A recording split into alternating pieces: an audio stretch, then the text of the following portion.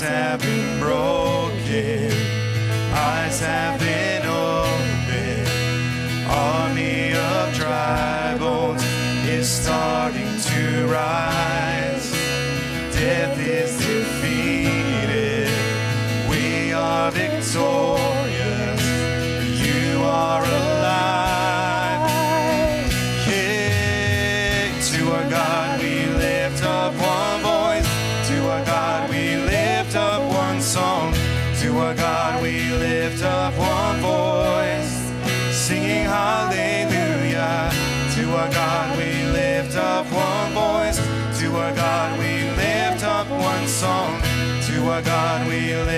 Up one voice, singing hallelujah.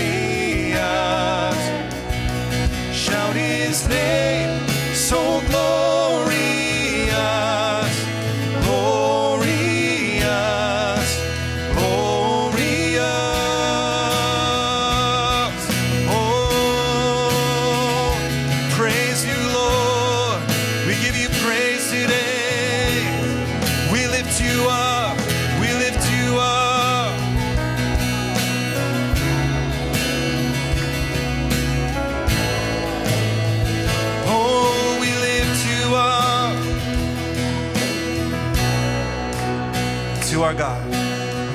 To our God we lift up one voice. To our God we lift up one song. To our God we lift up one voice. Singing hallelujah. To our God we lift up one voice.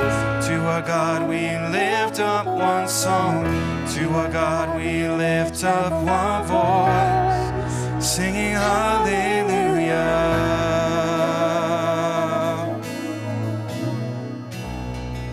Hallelujah. All praise to our God. Hallelujah. All the praise to our God.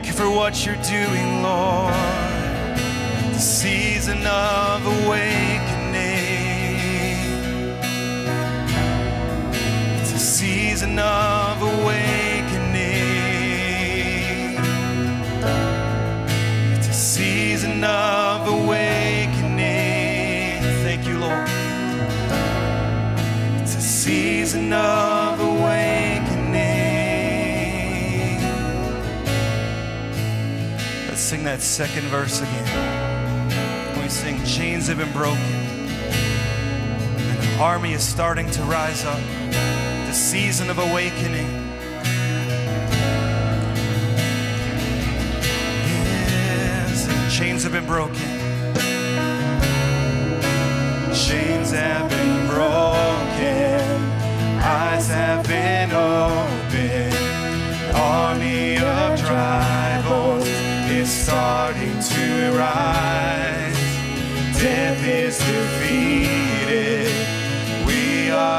Victorious.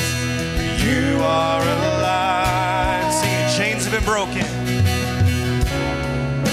Chains have been broken. Eyes have been opened. Army of dry bones is starting to rise.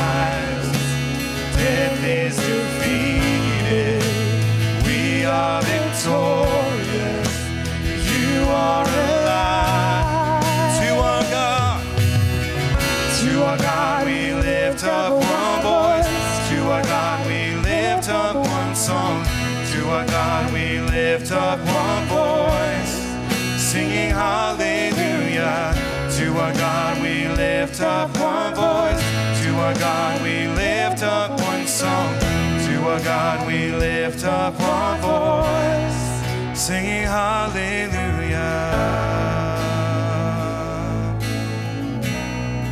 To our God.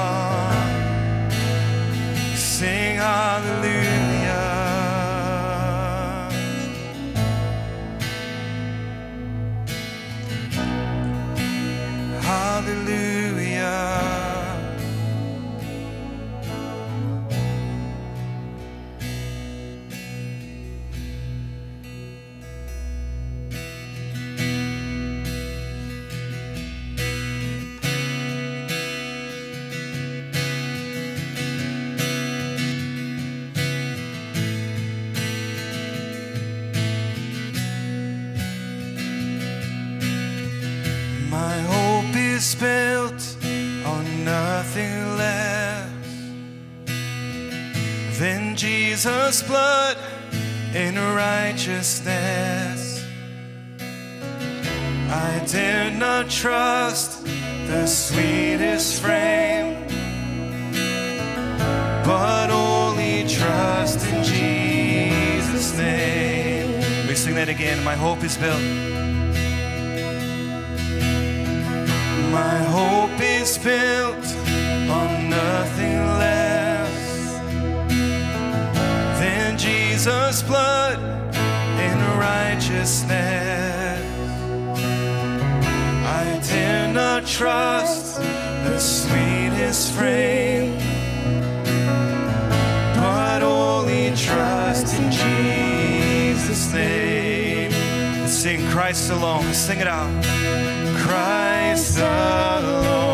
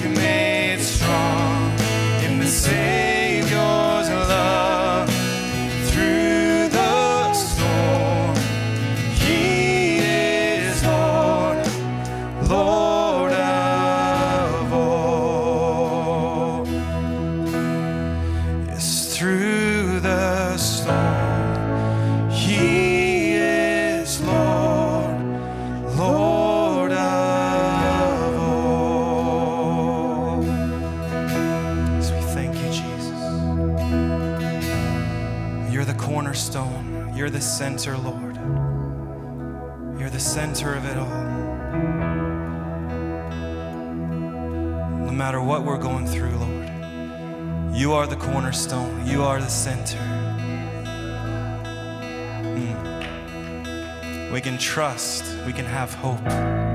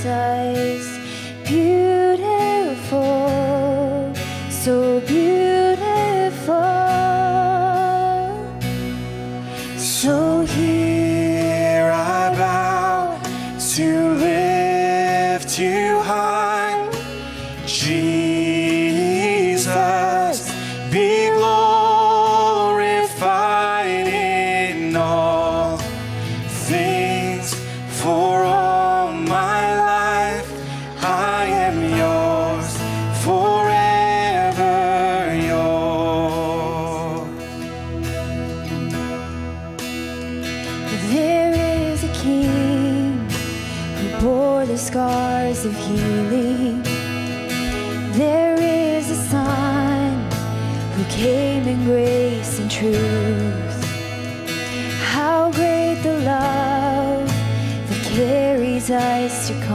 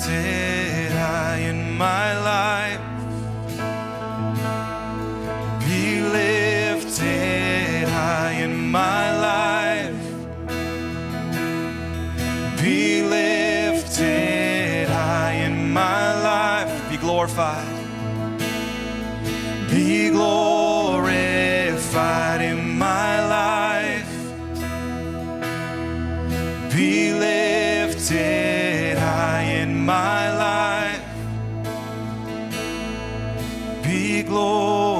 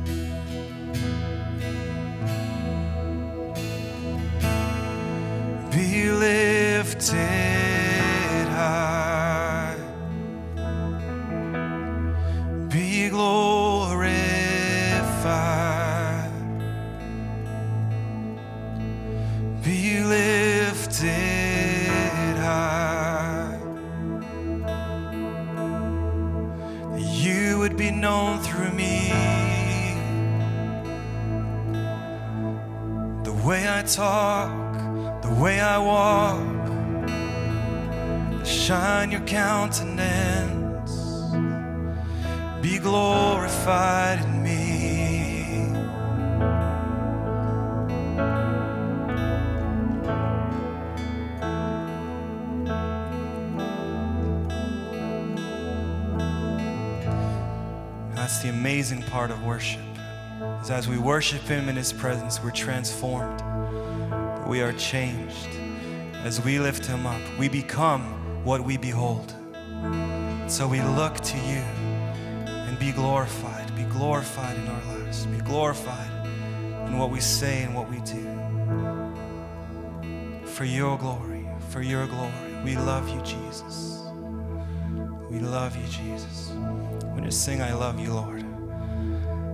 I love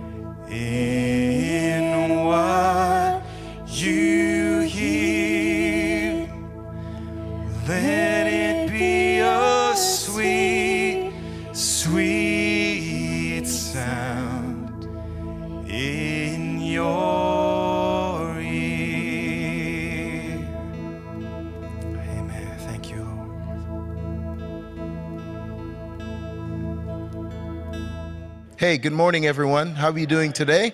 Are you good? Fantastic. It's great to be with you. This is our last session here uh, on this trip. I have some things I want to share with you, but uh, I don't want to assume that, um, that everyone here was at our meetings the last couple of nights. How many of you were not at the meetings uh, last night or the night before? Oh, yeah, quite a few of you. Okay. So let me just tell you a little bit about myself because some of you, by the looks of it, were not even alive in 1997. the last time I was here. I can't believe it. 97. Like, that's just like. ah. so you're wondering, how old is this guy? I was 10 years old when I came here. Do you believe that? I've been married 30 years. Um, last September, to the same woman, 30 years. And people always look at me and they go, you know, as soon as you say that, people start looking at you funny. They go, because they want to know how old is this guy, right? So I always tell them, you know, I married Debbie when I was 12. And, you know, some people that are not too sharp actually believe that. But, um, but no, I've been married 30 years. I have three awesome children. I have a 27 year old son who is uh, about to be engaged to an amazing, amazing uh, young, young lady. I have a 25 year old daughter that's eligible. Um, and guys, she's a model. She does modeling. She's gorgeous. And I have an 18 year old daughter um, who, uh, in her next, on her next birthday, she'll be 35. oh, I love my kids. Um, yeah, I talked to my son this morning. We had a very unusual thing that happened. At 3 o'clock in the morning, how many of you know you're not usually checking Facebook at 3 in the morning, right? Unless, you know, you, you got some issues. And um, so I wake up at 7. I looked at my phone and I saw that I'd missed 19 messages from my wife.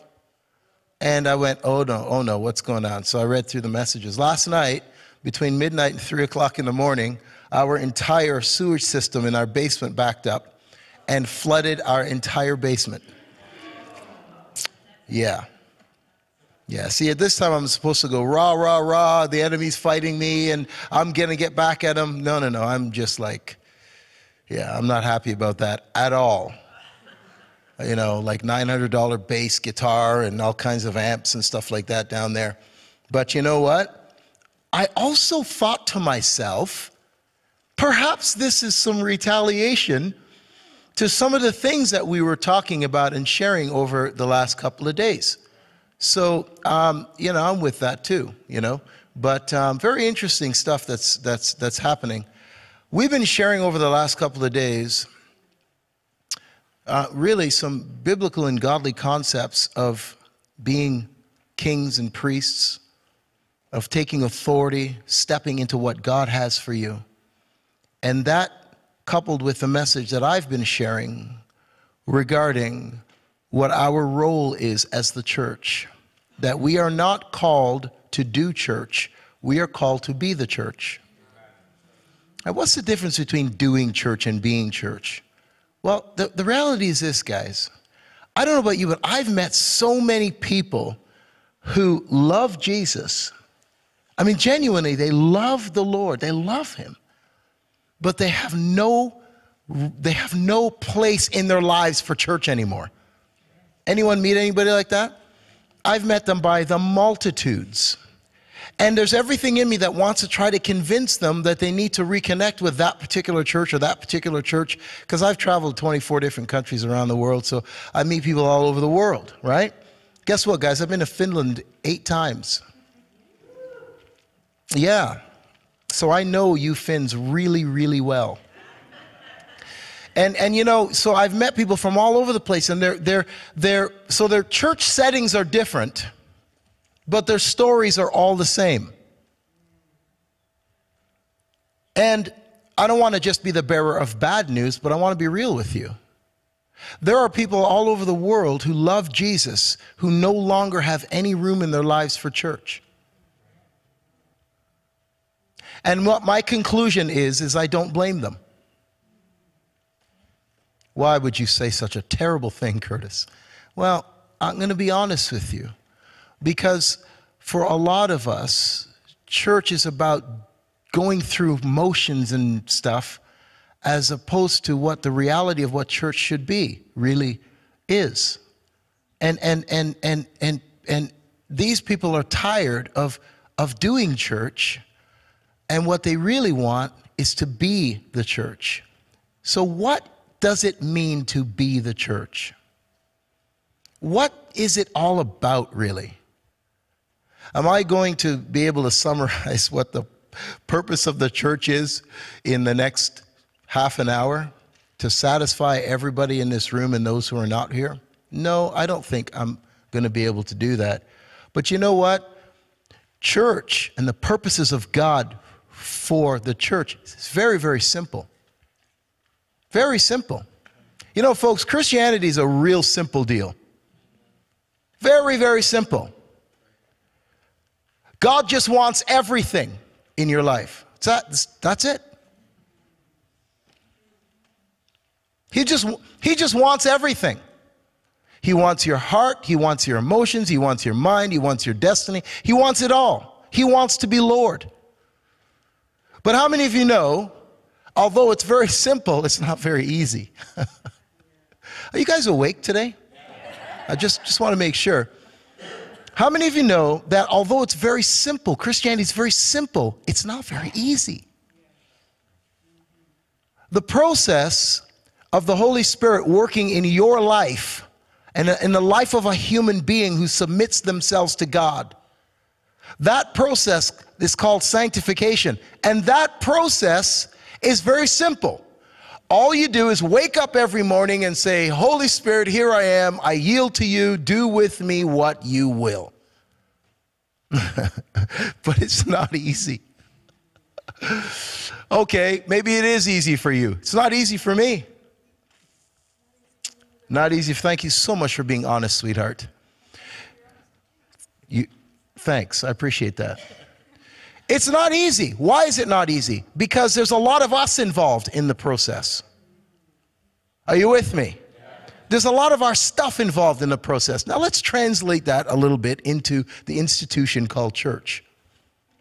A lot of what we do and call church has nothing to do with the kingdom of God.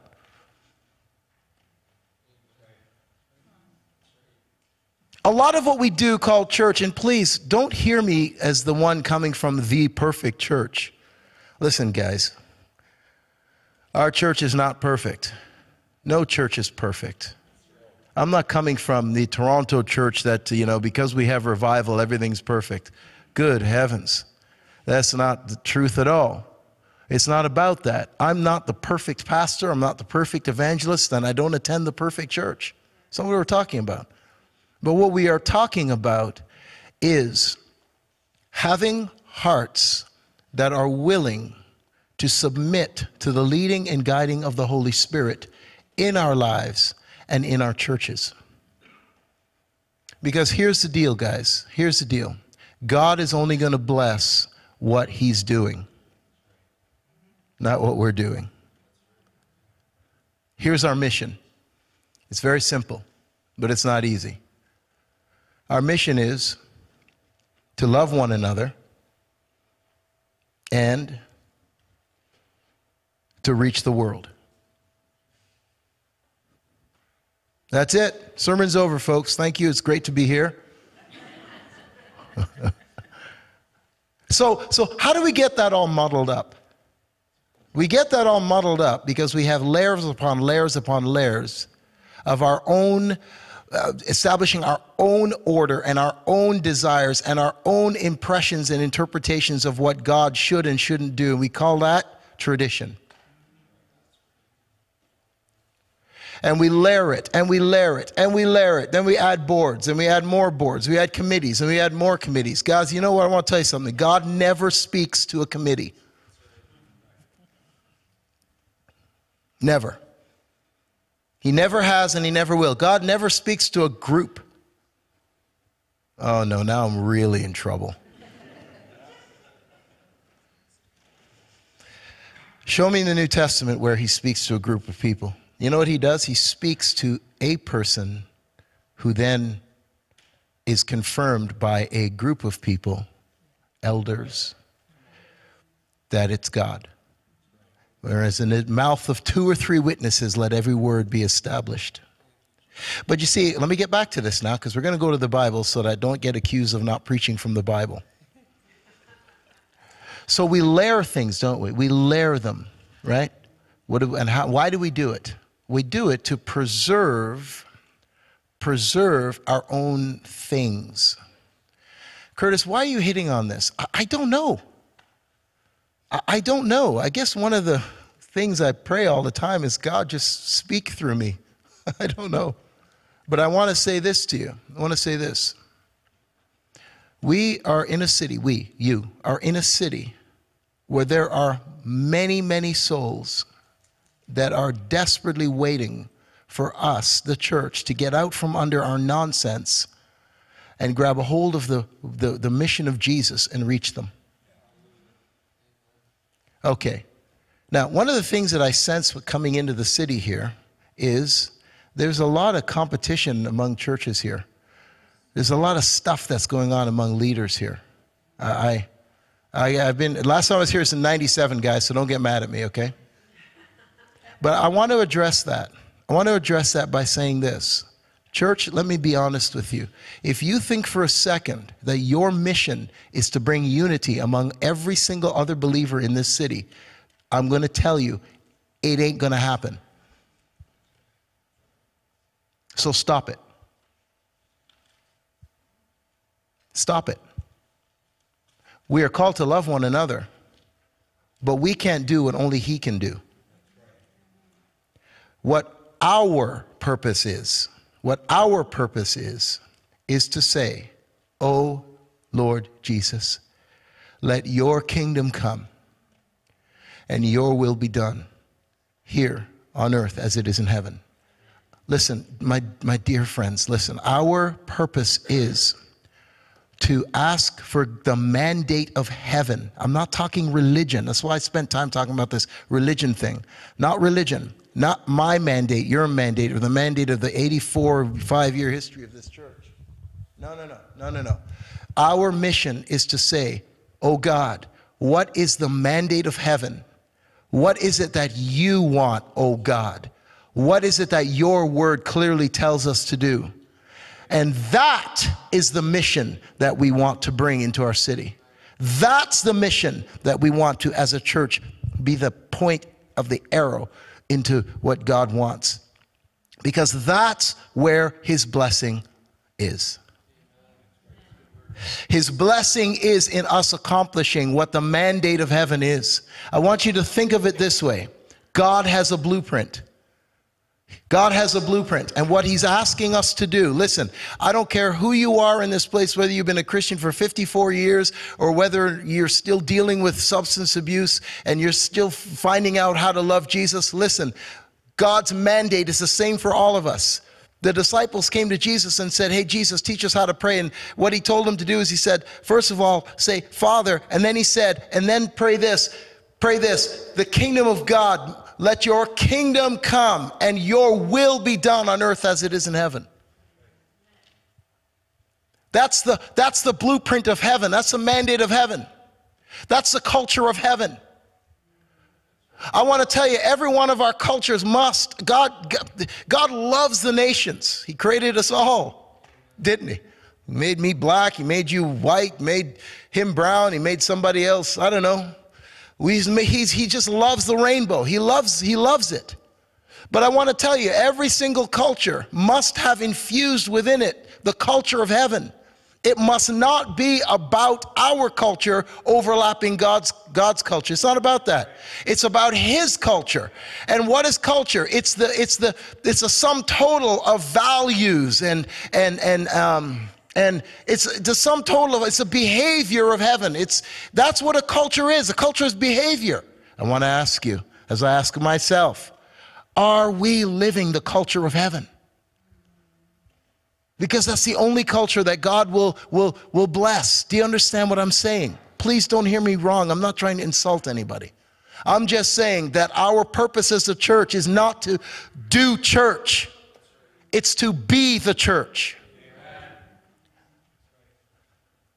And what does the church do? What is the culture of heaven? Matthew chapter 25, Jesus said something really scary. You want to read it? One person wants to read it. Okay, I'll read it. Matthew 25. Turn over there, please, very quickly. Very quickly, guys. This is exciting stuff. Well, what verse am I looking at? Uh, let's go over to verse 31. Jesus says, When the Son of Man comes in his glory and all the angels with him, he will sit on his throne in heavenly glory. This is not a parable, right? The difference between a parable and reality is a parable is a story to illustrate a truth, right? When Jesus was with, with farmers, he talked about farming. When he was a fisherman, he talked about fishing, right? I think a lot of, I think a lot of us preachers, we should, be, we should be preaching in parables like Jesus did. I should be doing that more to be honest, because it illustrates a, truth, right? Well, this isn't a parable. Jesus is looking into the future and he's giving us a he's giving us the um, he's giving us an account of what he of what's going to happen. Verse 32 says this All the nations will be gathered before him, and he will separate the people one from another as a shepherd separates the sheep from the goats. He will put the sheep on his right and the goats on his left. Verse 34 says, Then the king will say to those on his right, Come, you who are blessed by my father, take your inheritance, the kingdom.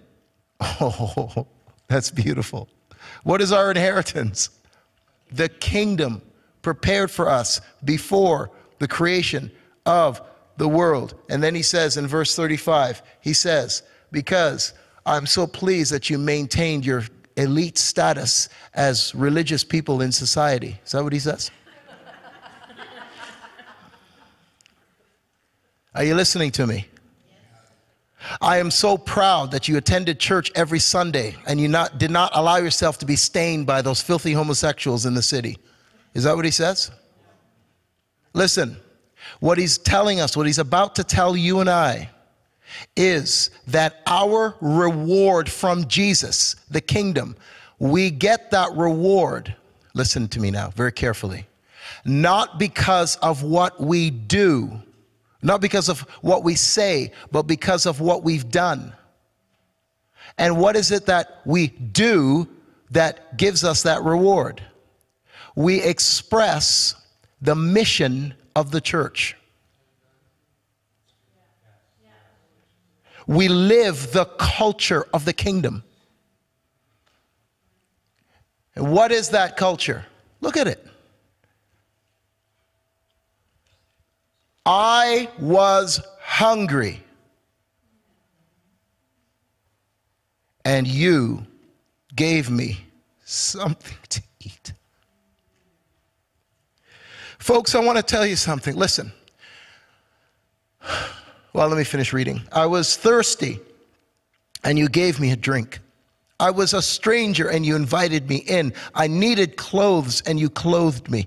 I was sick, and you looked after me. I was in prison, and you came to visit me. Listen. God is not looking for us to build some superstructured building with multiple floors and intricate internet systems. He's not looking for us to get complicated. I believe that a lot of us, the reason why, as the church, we've lost our way is because we've forgotten the very simple elements of our faith. We've forgotten the things that please God. I think a lot of us in church are bored. We're just bored. We just do the thing, we do the tradition, we come, we do, we come, we do, we think, we think that that's what it's about. I'm sorry if I'm sounding hard on you today. But listen, let me just tell you this right now. When you feed the poor, clothe those who need clothing, visit the sick, give water to the thirsty, when you do that, you are expressing the kingdom culture that will bring a reward to you and I. That's what he's after, folks. How are we going to transform the world? By standing up here and shouting and screaming about this prophetic declaration. Please don't hear me wrong. It's important to do that. But I want to tell you rah, rah, rah, rah, rah, rah isn't producing anything. Stop it. It's nonsense. It's one thing to rah, rah, rah, rah, rah, rah, but you know what? I hope that when we scream, we also go. Because that's what matters. We don't get a reward. I will not get my reward. Listen, guys, I want to tell you something. Do you know many of us preachers, we've already received our reward in full? I'm telling you, we, have already, many of us have already received our reward because we've gotten the accolades of men. Oh, Curtis, you're so anointed. Oh, this is so wonderful. Oh, you have changed. All of that, I tell you, I want to deflect that as much as possible because many of us have already received our reward because we've gotten it from people. Oh, dear. Folks, listen. It's not what it's about. You know what it's about? It's about you guys going and, and, and, feeding people. That's what it's about. It's about helping those who can't help themselves. It's about doing that and earning that right for us to preach the gospel. It's, it's, it's about loving people with nothing in an expectation of any return. Because here's the deal. Here's the deal. I want you to look at this. Look at how the righteous respond to Jesus. What do they say? Lord, we didn't see you hungry and feed you. We didn't see you naked and needing, needing clothes. We didn't see you thirsty. Why would they say that? Because it was done out of a heart of love, not one that's looking for recognition. Do you understand what I'm saying? So we do what we do from the motivation that we want to see God's mandate, the, the, the, the, blueprint of heaven come to earth. And that blueprint of heaven to earth is the manifestation of God's love towards people. Because that's what he cares about. He doesn't care about anything else. Folks, God doesn't care about buildings. He doesn't care about plots of land. He doesn't Oh, dear Jesus. He didn't send his son to die a horrible death on the cross so that we could erect some building to the glory of God. It's not possible. I'm telling you, it's not possible. Heaven is my throne, the earth is where I rest my feet. Where's the house you will build for me? He says in Isaiah 66. Basically, saying, I'm so big, you can't contain me. But he says, But this is the one that I look to. Read it. It's on page 817. He says, But this is the one that I look to. The one who is humble in their heart and broken before me. Do you folks see that it's so easy for us to miss the kingdom of heaven. It's so easy for us to miss it. A bunch of children came around Jesus, right? Remember that? And they were like, oh, Jesus, ah! They're pulling on him and pulling his, his robe and everything and putting snot on him. And what did the disciples say? Get away from him. Shh, get away, get away, get away. Let's not have the sacred defiled.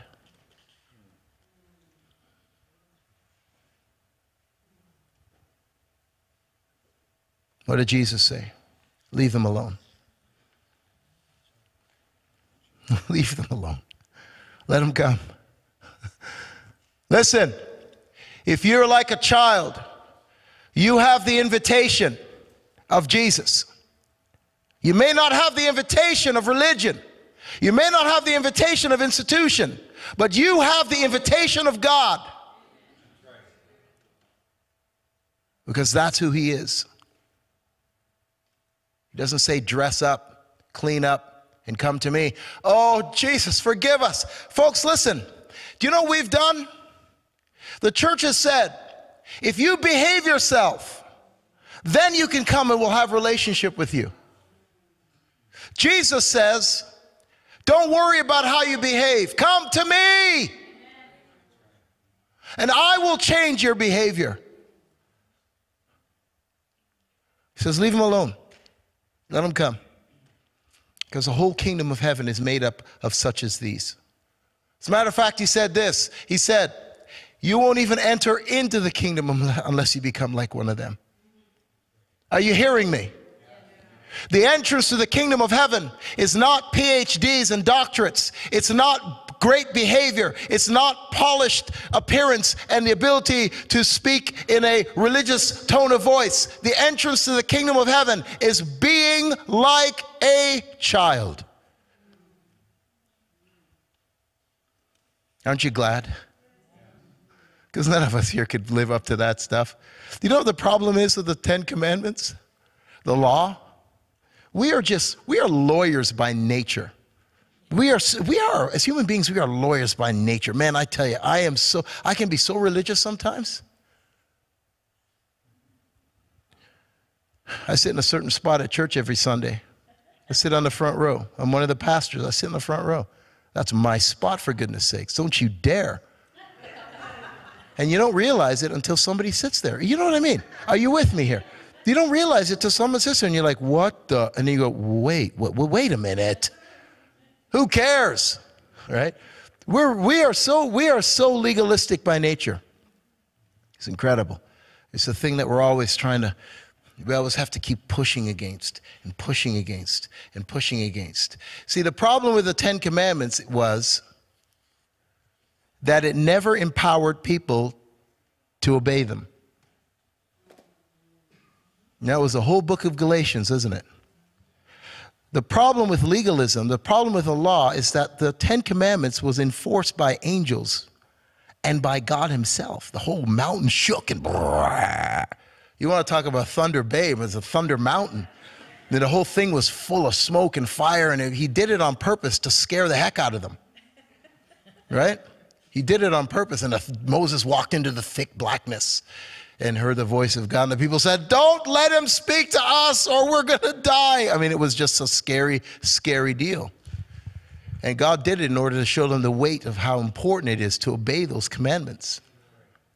But none of them could obey them. That's why the Bible says that it was a schoolmaster to lead us to Christ. So it's like a speed limit sign 100 kilometers an hour. 100 kilometers an hour. I don't know about you, but I never obey that thing. oh, come on, neither do you. Don't look at me like that. The problem with speed limit signs is they never empower you to obey them. They're always telling you what you're doing is wrong. That's the law. That's, that's, that's, the legal, that's legalism. That's how it works.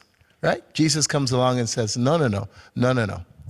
No, no, no. I'm going to, by my spirit coming to live inside of you, you are going to be able to live and express and obey those commandments, not because you are trying hard to, but because you are allowing my spirit through you to work obedience in your life.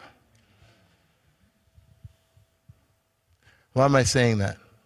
Because we can either decide to do church, and if we do, we're comfortably flowing in legalism, comfortably. Or we can decide to be the church. And how do we do that? Oh, just love people, folks.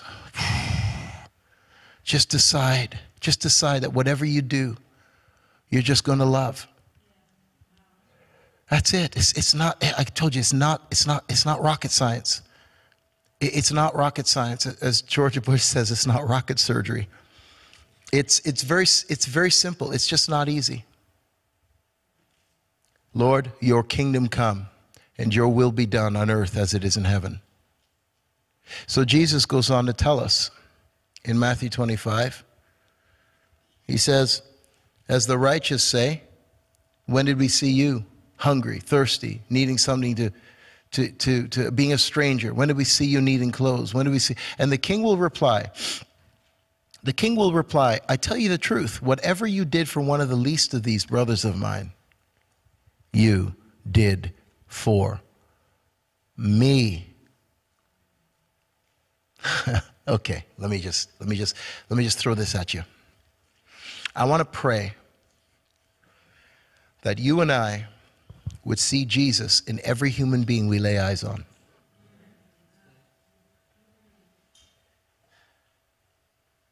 Wouldn't that change pretty much everything? Oh, Curtis, that's a heavy task, man. You don't understand. There's people I don't like. There's people I don't like too. I, am I'm, I'm being honest with you. There's people I don't like, yeah. So, what do we do? Do we pretend? No, we don't pretend. We ask for God's grace. We, for, we ask, we forgive. How many times are you going to? There's, listen, guys, can I, can I let you know something? There is somebody in my life I do not, I do not like this individual. Every time I see them, my hands just kind of go like this. Like, I'm being honest. Oh, how could you say that? Because I don't like to lie. I, don't like them.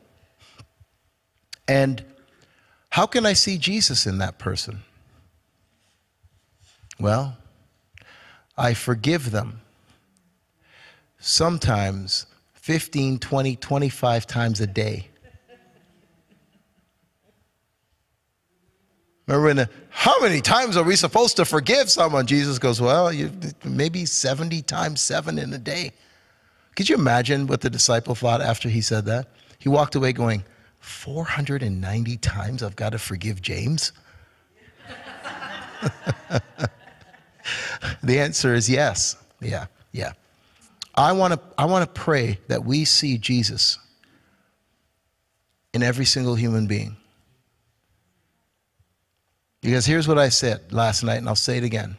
I want you to know something, guys. I'm going to end soon. I want you to know something.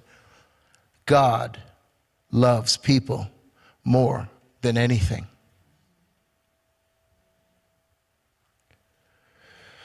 And there are people, there are people where His Spirit is resting on them. Because Jesus said that the Spirit of God would.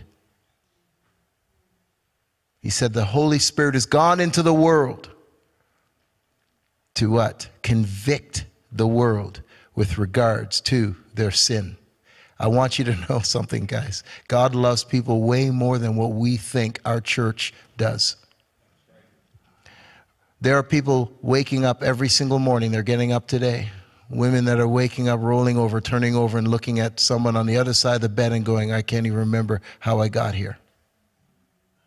Not even that bad. There are businessmen who are worth millions and millions of dollars, and their conscience is killing them because they know that they're taking advantage of people.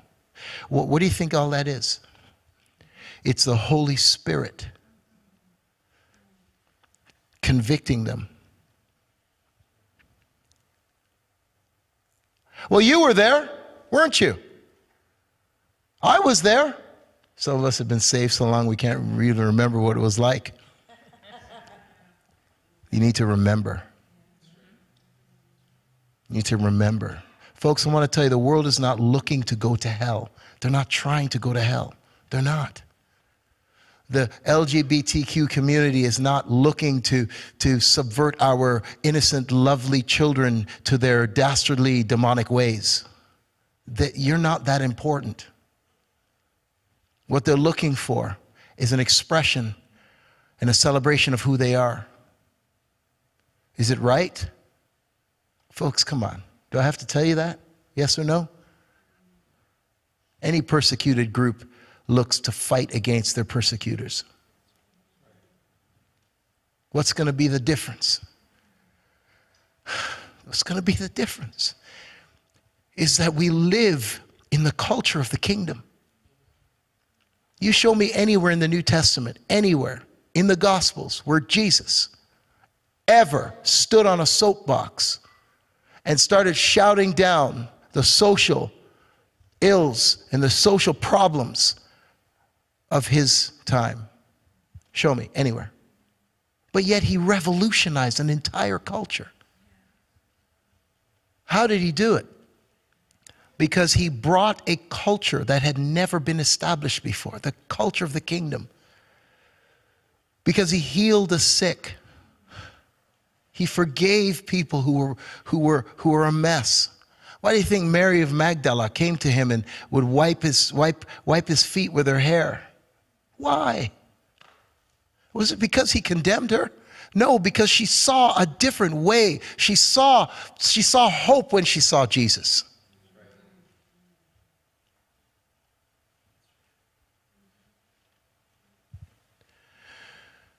Why do you think she was the first one at the tomb? Because the one who loves the most gives the most.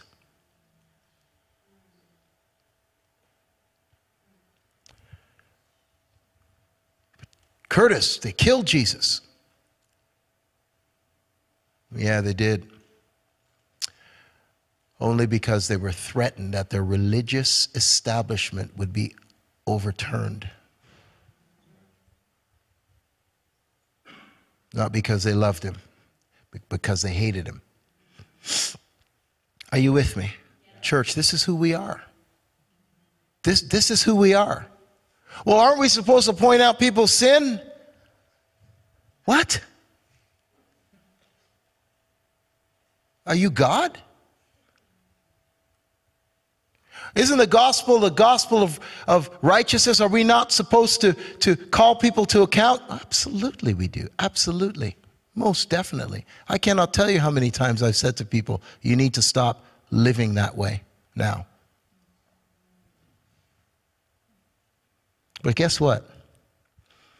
They listen because they know it to be true, not because I bark at them.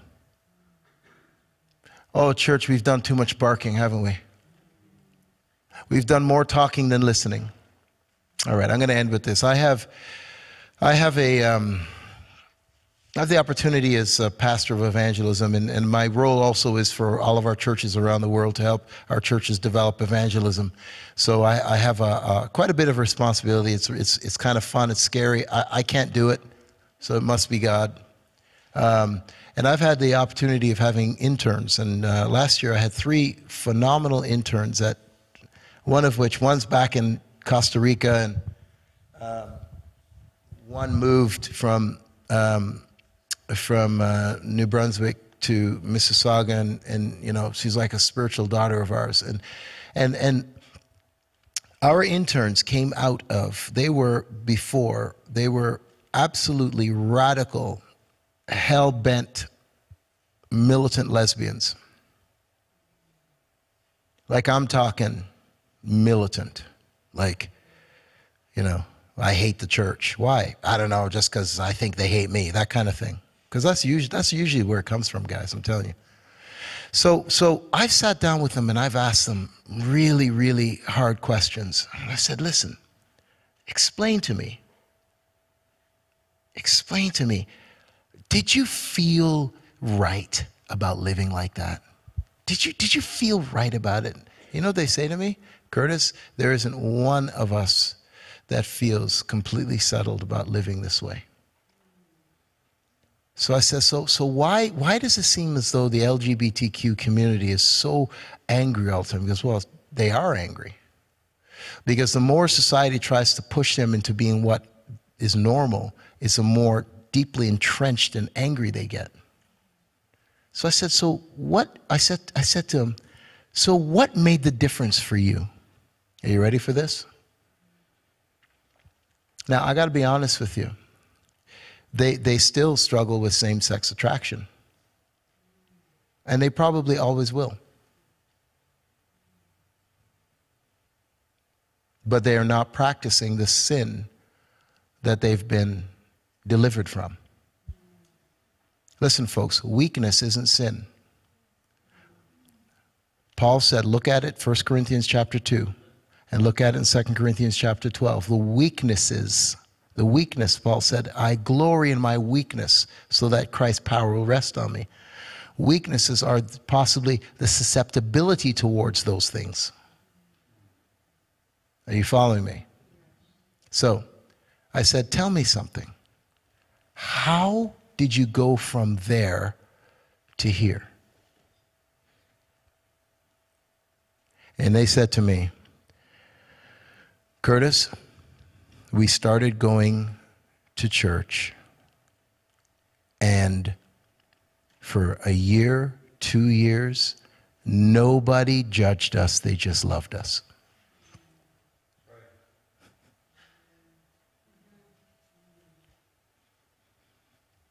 My one, one intern, she said, she said, every Sunday, people would just pray for me. I would go with my girlfriend.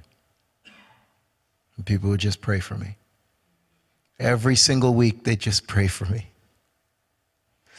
And she said, in one day, She says, one day the Holy Spirit just landed on me. Curtis, it was just, and nobody else was, nobody did anything. She said, I was just in church and the Holy Spirit just landed on me. And I just went, I don't need that identity anymore. And she's been free ever since. Isn't that incredible? Yes, Jesus! I know I'm going all over the place today, folks, but you know what? Um, can we make a decision that the mandate of heaven becomes our number one priority and becomes our vision? Can, can we do that?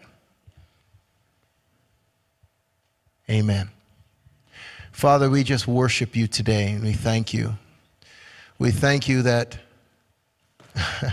Lord, th- thank you so much that you're not like me. Lord, thank you so much that you're not like us. Father, your word says that when you come back, Jesus, the wheat will grow with the tares. You said that. We can't take the tares out of the wheat. They're both going to grow together. But Lord, we ask you in our lives that you'd help us to follow you. Holy Spirit, I'm asking for every single person in this amazing church. I'm asking for every single one of us in this place that you would give us eyes to see your presence resting on people. That as we go about our daily affairs today, tomorrow, that you would show us your presence on people everywhere in this city, everywhere that we go. Lord, I'm asking for an incredible breaking out of salvation. Not because we scream, go, go, go, go, revival's coming, but Lord, that we are containers and carriers of revival. And I want to commission you today, church. I want to commission you today from the greatest of us to the least of us, from the least of us to the greatest. I want to commission you today to leave this place and bring revival to people. As I said last night, the mothership's not going to land, guys. It's not going to happen that way. There's not going to be some giant spaceship landing over Thunder Bay and all of a sudden, oh my gosh, revival's broken out. No, no, no, no, no, no, because that wouldn't be, that's not in the Bible. What is in the Bible is go and make disciples. So may the love of God so flow through us. I bless you in the name of Jesus, Father. I declare that. I decree that. I establish that with every ounce of faith I have for this church, for these people, for this city. That we would stand up, rise up, and love up like never before. Is there anybody here today and you have never really given your life to Jesus Christ? Anyone here today? Just wave at me. If you say, Curtis, you know what? Here's the deal, man. I, I, I, I need. What does it mean to give your life to Jesus? It's not signing on a thing. It means that you pray and this invisible God comes to live on the inside of you. That's what it means to have Jesus in your heart. It doesn't mean that you read some nice poem about Jesus and you just think about him all day long and you're just euphoric. No, no, no. It goes way beyond that. Having Jesus in your heart means that you say, Jesus, I ask you to come into my life. I ask you to forgive me of every single thing that I've done that's shameful, that's wrong. It means that you're thanking Him for what you already know has happened, and that is that He's alive. He's not dead, He's alive. You know it because you can feel it. That's what, that's what it means to give your life to Jesus. And then you say to Him, you say, God, oh great Spirit of the universe, come and live inside of me. Because that's been the purpose of God from the very beginning. He doesn't live in buildings made of stone. He doesn't live in the fire. He doesn't live in, he lives. His desire to, is to live inside of temples of flesh. And that's what Jesus came for. Is there any one of you here say, Curtis, I, I, I've not experienced that. I want Jesus to come into my life. Wave your hand at me. I want to pray for you. Anybody? Okay, that's cool. Can we all stand? I usually not at a loss for words, but I don't know what to do now. Father, we worship you. We, we, we bless you. Send us out from this place, Lord. Let the greatest testimonies, let the greatest stories of renown start from now. In Jesus' precious name. Amen. Amen.